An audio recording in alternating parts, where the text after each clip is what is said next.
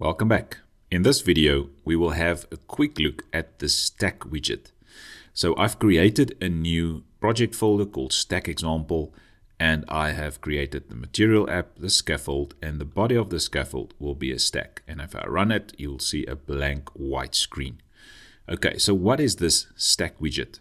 So the stack widget creates a stacked or stack layout widget. By default, the non-positioned children to the stack are aligned by their top left corners.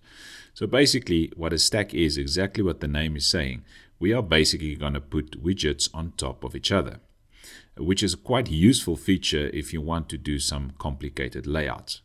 So we will just look at a simple example of how we can use this.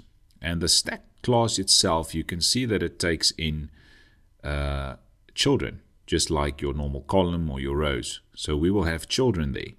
So I'm going to use the children property there, and this is the children we will have.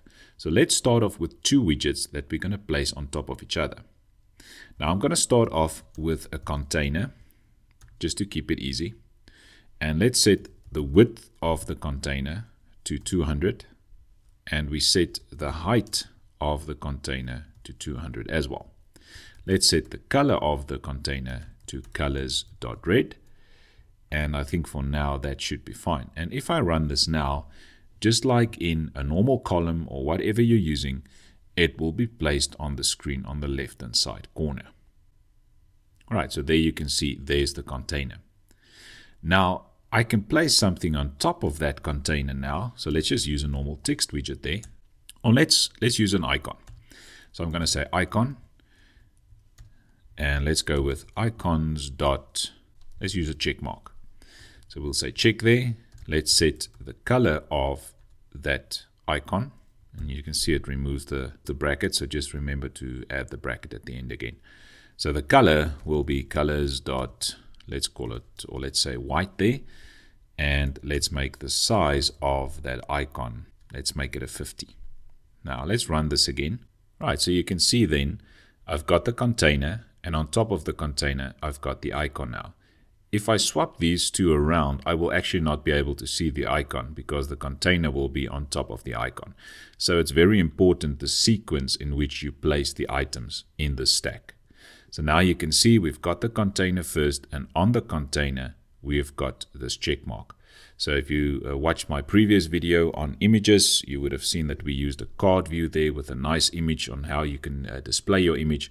So for example, you could have your card view here and then have some data on that card view or on that picture by using a stack. Right, so if you do not position your container and your icon here, they will be in the left corner directly on top of each other.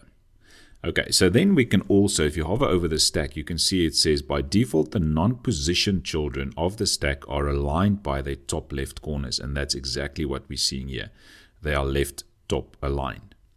Okay, so we can also change that by adding, just use control and your dot again or command and dot on a Mac. And what we can do there is to add or wrap it with a widget. And the widget's name will be positioned. Now, if you hover over positioned, you can see that we can set a left, a top, a right, a bottom, a width, a height, and give it a child. So the child in this case is the container. Now, let's say we want to move the container and we want to put the icon also in a widget called positioned. So both of them, we want to have them at a specific position.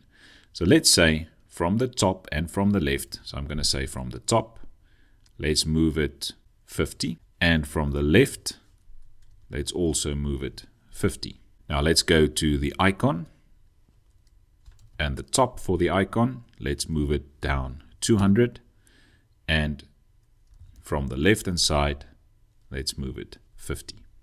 Now let's see how this changes now. So now you can see by playing around with the top and the left values, we are positioning this container as well as the check mark where we want them on the screen. If I go want to go a bit more to the right there, I will say left, let's make left 70. And then with trial and error, I can see how far it needs to go in order to get it to the correct position where I want to have it. So you can see it moved a slight bit. So this is the basics then of a stack and how you can use the positioned widget in order to move them around on the screen. And just remember that the stack is also just a widget. It creates a stack layout widget, which means you can use the stack inside of any other widget, even a card or a row or a column or wherever you want to use it. You can also use a row and a column inside of it. So just remember that stack is a normal widget and you can use it anywhere. And that can create some really nice looking layouts. Thank you for watching this video. See you in the next one.